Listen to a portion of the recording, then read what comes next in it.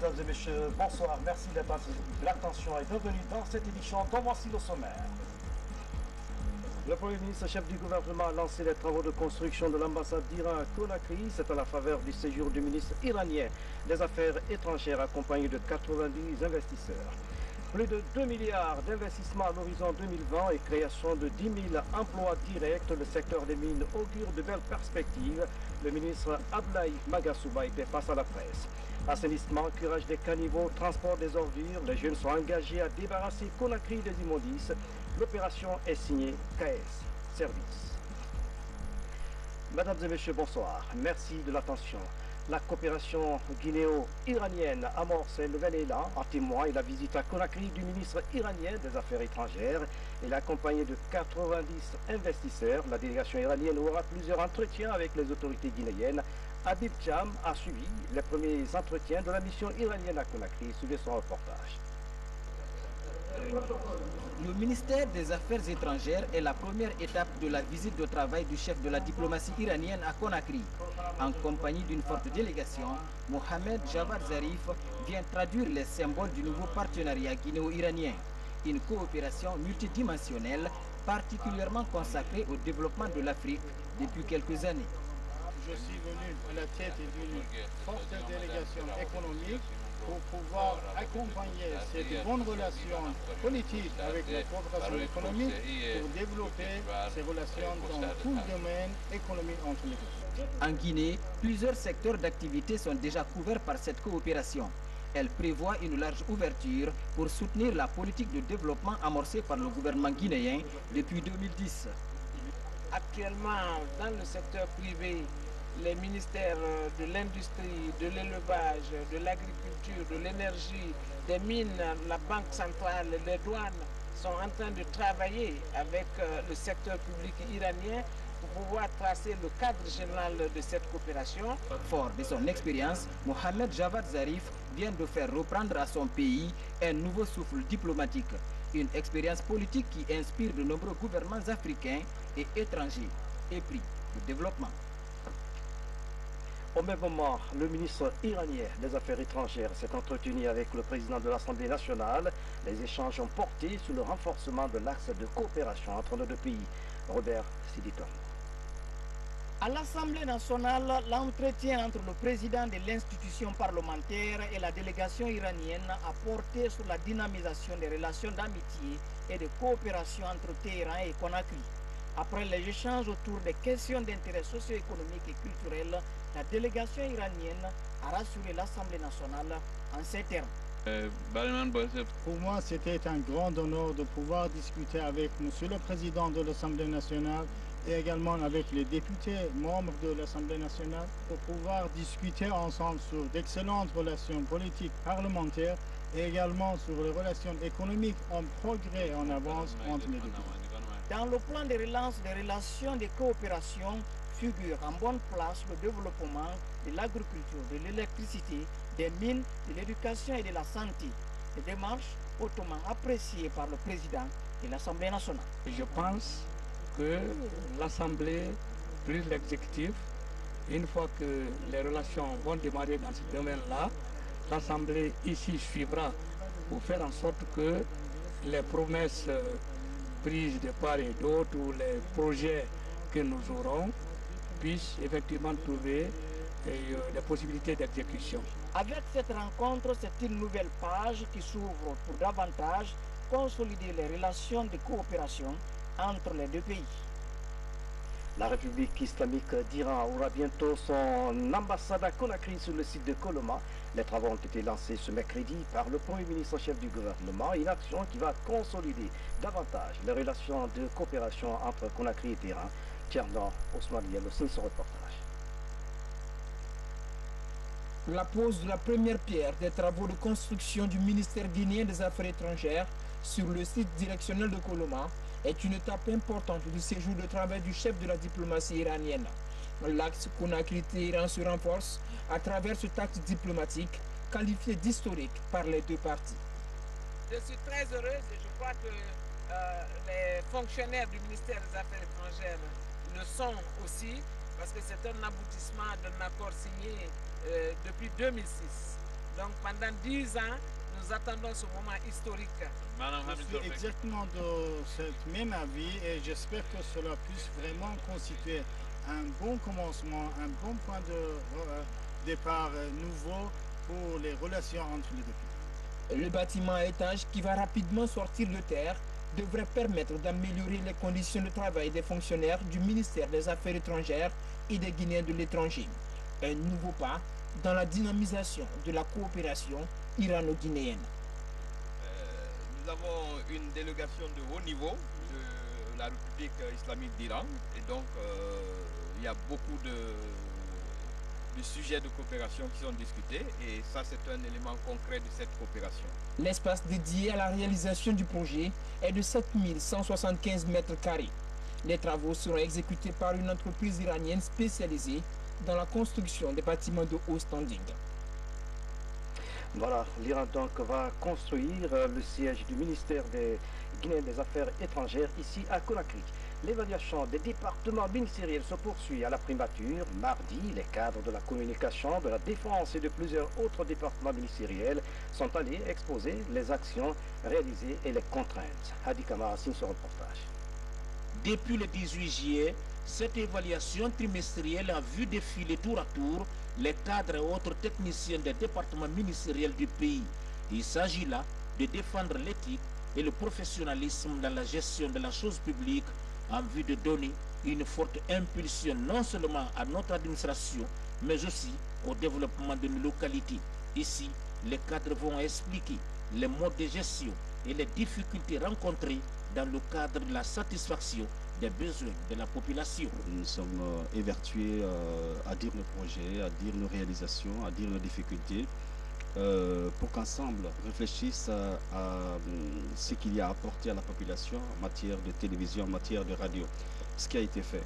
La RTG aujourd'hui a fait beaucoup de progrès, de nouvelles émissions ont été créées, des émissions qui permettent aux populations de comprendre le gouvernement, les difficultés du gouvernement, les efforts du gouvernement, mais aussi au gouvernement de comprendre les attentes de la population. C'est un programme d'action initié par le chef du gouvernement Mamadi Yula sur la base des orientations et de la vision du professeur Alpha Condé, président de la République, pour garantir l'avenir de la nation guinéenne à travers une nouvelle dynamique marquée du saut d'une gestion rigoureuse. Cette méthode-là permet euh, de faire euh, une évaluation à partir d'une matrice qui est commune à l'ensemble et qui permet de voir un peu comment euh, les différents ministères bougent et quels sont les progrès qui sont atteints par le gouvernement pendant une période donnée. L'armée guinéenne est et demeure, demeurera toujours républicaine.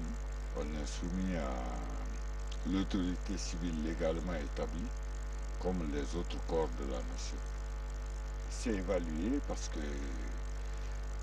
nous savons que nous sommes suivis, nous savons que c'est une question de redevabilité. C'est un processus qui va favoriser au bout du rouleau le développement des infrastructures et l'expansion économique du pays. L'autre temps fort de cette édition, le ministre des Mines était devant les médias ce matin. Ablay Magasuba a largement expliqué les acquis, les perspectives et les défis du secteur des mines. Les grandes réformes en cours vont permettre de rapporter à notre pays plus de 700 millions de dollars et créer 10 000 emplois directs. Le secteur des mines augure de belles perspectives. Mamadou Alphabaldi. Première grande sortie médiatique du ministre des Mines six mois après sa prise de fonction. Tous les domaines sont évoqués, d'abord les acquis. Parmi les plus importants, l'assainissement du cadastre minier, la création d'un guichet unique, facilitant ainsi les procédures d'implantation des sociétés minières. Avoir des dizaines de milliards de tonnes de bauxite sous terre n'apporte pas n'améliore pas les conditions de vie des populations. C'est développer milliards de tonnes de bauxite qui permet aux Guinéens d'accéder à des emplois décents et viables, qui permet aux Guinéens de pouvoir enfin bénéficier des retombées du développement du secteur minier. D'ici à 2020, la Guinée entend opérationnaliser de nombreux projets miniers. Global Alumina Corporation a offert le projet de bauxite Tougué Daboula et tant d'autres pourraient bientôt démarrer. Le pays compte exporter plus de 80 millions de tonnes par an à partir des quatre prochaines années. Valeur des investissements attendus 2 milliards 500 millions de dollars. C'est des projets qui sont en maturité aujourd'hui, des projets qui ont pour la plupart bénéficié déjà de toutes les approbations nécessaires pour que l'investissement se fasse. Certains de ces projets sont déjà actifs sur le terrain. Aujourd'hui, le projet d'extraction de la CDG a déjà commencé sur le terrain. Des actes concrets ont été posés dans ce sens. Des bases solides ont été posées au cours euh, du premier mandat du président de la République. Sur la question du projet Simandou, aujourd'hui en souffrance, Abdoulaye Magasouba précise que l'État prendra toutes ses responsabilités. Rio Tinto n'est pas le seul actionnaire de Simfer. Donc nous discutons avec tous les partenaires de Simfer pour que nous puissions ensemble assurer le développement rapide du projet. Nous, notre objectif, c'est que le projet se développe le plus rapidement possible pour l'intérêt des populations guinéennes. Le secteur extractif représente 20% du PIB guinéen. 80% des recettes de l'État en devise proviennent aussi des revenus miniers. Dans l'actualité encore, les autorités de la Banque centrale se concertent avec l'association des bureaux d'échange agréés en Guinée. Objectif limiter la flambée des devises et une situation qui serait liée à la baisse de l'exportation. Et puis, ils ont envisagé de nouvelles stratégies de lutte contre les clandestins. Maïmouna. Selon les principes du Fonds monétaire international, l'écart entre le taux de change officiel et celui du marché parallèle ne doit pas dépasser les 2%. En Guinée, le marché des devises échappe à cette règle. C'est pendant les vacances que la plupart de, de, nos compatriotes qui ont leurs enfants à l'extérieur renouvellent les inscriptions de leurs enfants. Donc il y a une demande supplémentaire qui est sur le marché. Comme c'est la saison des pluies, les mines sont inondées, donc la production aurifère notamment est, est, faible et malheureusement ces deux périodes ont coïncidé également à la période de pèlerinage où il y a une certaine demande supplémentaire qui vient s'ajouter sur le marché qui fait que la demande est relativement plus élevée que, que, que l'offre. 100 millions de francs guinéens, c'est la caution payée par chaque bureau de change agréé en Guinée. Depuis novembre 2015, les 56 bureaux de change agréés n'ont toujours pas obtenu leur subvention auprès de la Banque centrale. Depuis 2013, la, le président de la République donnait l'ordre que la Banque centrale serve le, le bureau de change agréé de devises pour que nous distribuions à la population, aux gens qui vont à la Mecque ou les gens qui vont euh, pour le traitement des maladies, les gens qui vont à la mission. On a dès maintenant proposé à la Banque centrale de reprendre la solution là. Parce que si on reprend ça, je crois que bien, ça va s'améliorer euh, en, en attendant. Les autorités de la BCRG promettent d'examiner ce dossier.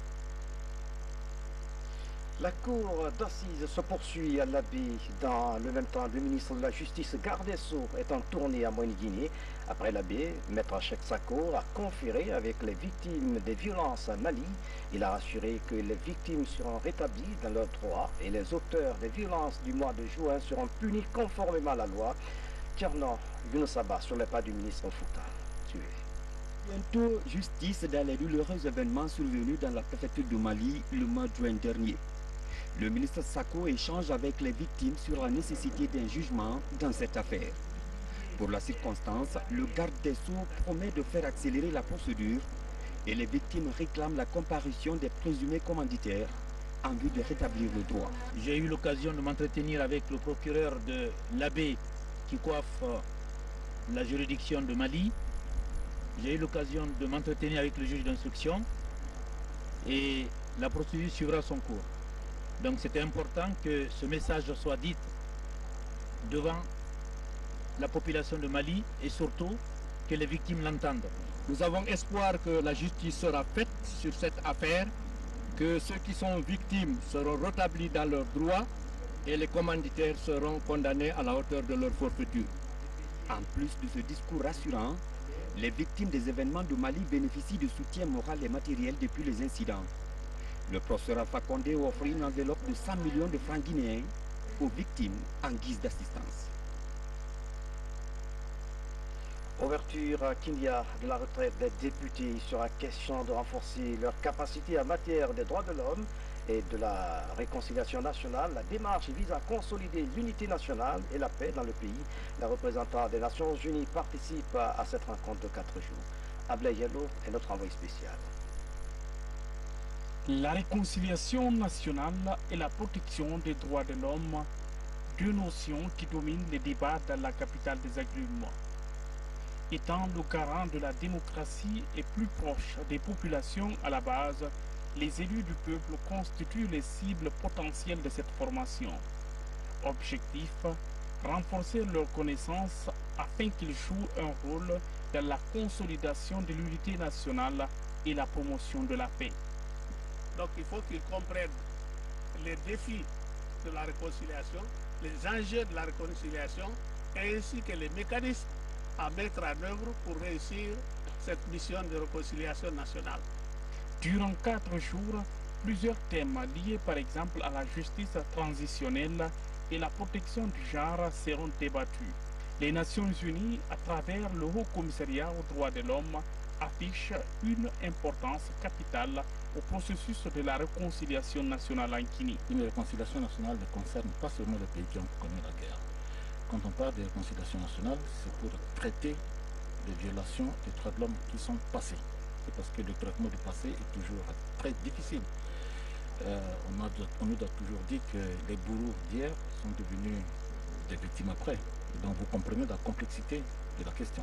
En tant que faiseurs des lois, devront encadrer tout ce processus, mais aussi et surtout de celles qui devront rendre effectives toutes les grandes décisions qui seront arrêtées. Vous prendrez votre bâton de pèlerin pour parcourir les contrées les plus lointaines du pays pour mobiliser vos mandants et les préparer à participer à ce processus avec les dispositions, les dispositions d'esprit que l'enjeu exige. L'organisation de cette retraite à Kindia devrait déboucher à la création d'une commission vérifiée par voie législative devant faire la lumière sur les événements qui ont marqué le passé de la Guinée depuis l'indépendance à nos jours. On change de sujet. L'orage 2016 coïncide cette année avec le pèlerinage chrétien, le départ des pèlerins prévu le 4 août. Une euh, date choisie par l'opposition pour une manifestation. Le secrétaire, le secrétaire, général des affaires religieuses invite les uns et les autres au dialogue et au renforcement du tissu social. Écoutons Abdul Karim Jubati au micro de Fatima Toudiam.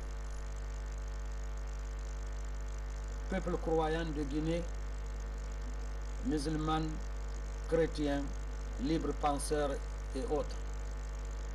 Peuple croyant de Guinée, certains de tes fils et filles, musulmans et chrétiens, par coïncidence cette année, se préparent activement pour l'accomplissement, depuis le 11 juillet dernier, les opérations du Hajj 2016. Les musulmans pour les lieux saints de l'islam au Royaume d'Arabie saoudite et les chrétiens pour Rome et Jérusalem. Le secrétariat général des affaires religieuses en appelle au sens de responsabilité de toutes les, composantes de la nation afin que leur contribution sous toutes les formes, notamment le maintien de la quiétude des populations, participe à la réussite du Hajj 2016.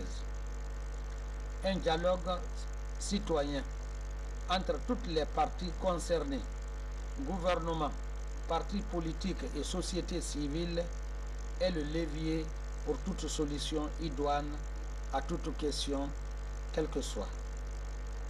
C'est à ce, c'est à ce dialogue, c'est à ce dialogue constructif qu'au nom des populations guinéennes, le secrétariat général des affaires religieuses les invite à l'effet que la période des deux pèlerinages musulmans et chrétiens se déroule dans la sérénité et le succès.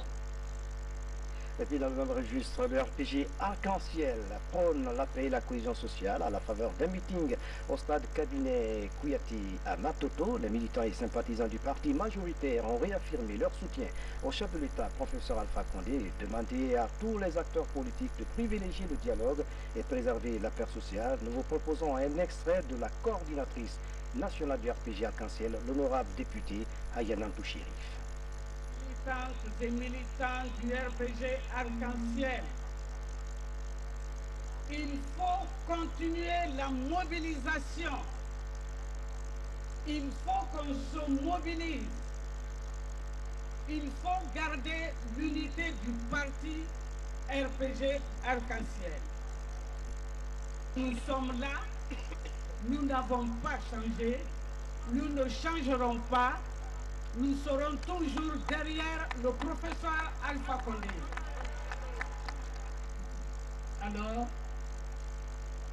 tenez-vous prêts pour aller de commune en commune pour faire la mobilisation. Il faut qu'on se réveille. Qu'ils sachent que le RPG est bien debout. Direction Forcaria, située à 100 km de la capitale, où plusieurs groupements féminins viennent de bénéficier d'un important lot de matériel. Il s'agit des presses à huile, des clarificateurs et des brouettes. C'est une aide du Centre d'appui au développement et ses partenaires. Ces équipements ont coûté plus de 4 milliards de francs guinéens. Saint-Martin, reportage. La ville de Forecaria, une zone où la production d'huile de palme prend de l'ampleur. Par exemple, dans cette communauté de Lankanfiyaya, dans la sous-préfecture de Kalia, les techniques sont anciennes. Après la récolte des noix, suit la pratique traditionnelle d'extraction de cette denrée. Mais pas de commodité d'hygiène. À cela s'ajoute la fatigue des concasseurs de noix ainsi que la lenteur dans la production. On fait une sorte de marche là-dedans jusqu'à malaxer et maintenant les palmes cuits jusqu'à ce que ça se sépare des noix. La situation retient l'attention des membres du Centre d'appui au développement CAD. Grâce à leurs partenaires de la Fondation des États-Unis pour le développement en Afrique, ils apportent un important lot d'équipements de production d'huile de palme à 12 groupements de cette communauté rurale. Tous ces équipements sont fabriqués en Guinée par les jeunes artisans locaux. Nous les avons trouvés là-bas, on a vu comment ils travaillent, comment des trous dans lesquels ils font pétrir l'huile, et ils n'ont pas d'eau, la qualité de l'eau qu'ils utilisent. Donc tout ça, c'est réellement des problèmes. Donc nous avons cherché à, envoyer une technologie qui permet de réduire la pénibilité du travail, mais ben, aussi qui leur permet d'avoir beaucoup plus de revenus. 287 membres, dont 177 femmes des 12 groupements bénéficient de cet appui de cadre. Ce sont particulièrement des jeunes filles, femmes et hommes. Ils sont essentiellement issus des couches défavorisées. En plus des équipements, une somme de 2 millions de francs guinéens est accordée à chaque groupement bénéficiaire pour l'achat des régimes de palme, une première dans la localité.